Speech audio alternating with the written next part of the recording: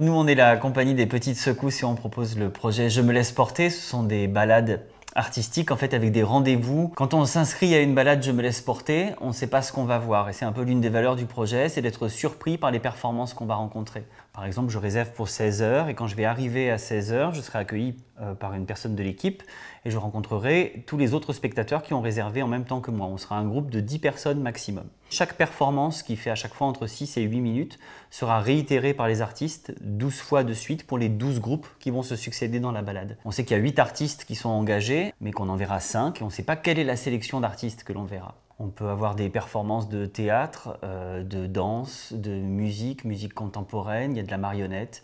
On a une artiste drague qui fait un playback aussi, et puis on a euh, du théâtre d'objets. Ce qui est bien aussi, c'est de pouvoir mettre en valeur le patrimoine de la ville qui nous accueille, parce que chaque euh, performance est dans un lieu particulier. Alors ça peut être soit un lieu de patrimoine qui est très identifié, mais ça peut aussi être un lieu euh, dont les portes sont fermées d'habitude et auquel on va pouvoir donner accès au public. Comme on est sur un format tout petit, très humain et intime, vous l'avez compris, les gens ont le temps de se rencontrer en fait. C'est aussi ça l'une des valeurs du projet, c'est de proposer un endroit, un moment pendant lequel on peut favoriser, créer le lien entre les gens.